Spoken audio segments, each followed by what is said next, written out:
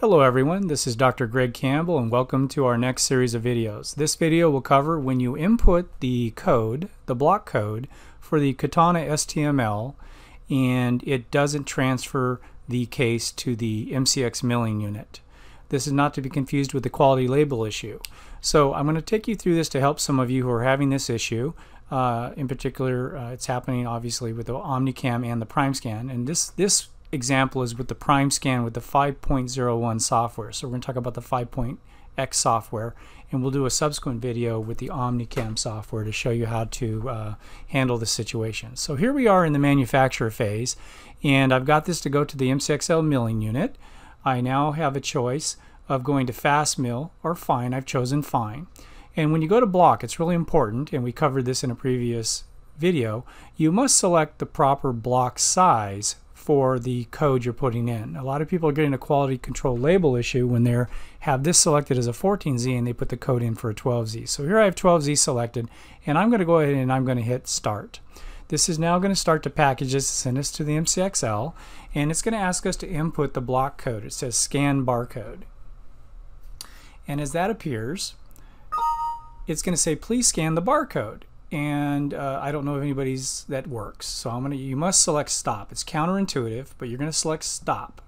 When you do that, you're gonna now input the barcode. So as you click on the lower left down here, I'm gonna touch the touch screen. It's gonna bring up our keyboard, and we're gonna input the block code for this product, the 12Z, for this for the specific shade. I'm gonna start inputting. If you look on the lower left hand side, K, two two three FBA. So I've input it and I'm going to actually select enter.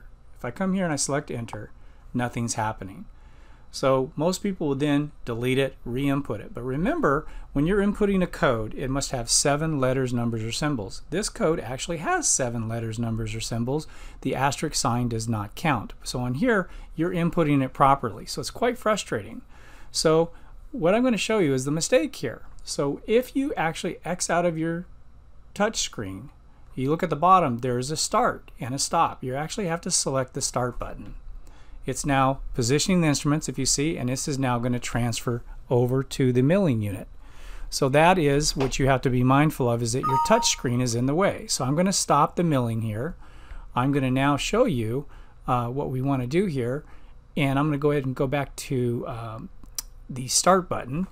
And as that's preparing itself, I just want to show you uh, what you want to do here. So once you set this, you're going to be fine for any future codes that you put in. So again, we're going to scan the barcode. You don't scan it. You have to hit stop, and it's going to bring up your touchscreen. What I'd like you to do is actually touch on your touchscreen and move it up slightly so you can see the start and stop below. The start is in green. Obviously, the stop is in red. We're going to now input our code, F223 FBA, and instead of hitting the enter on your touchscreen, you hit the start button.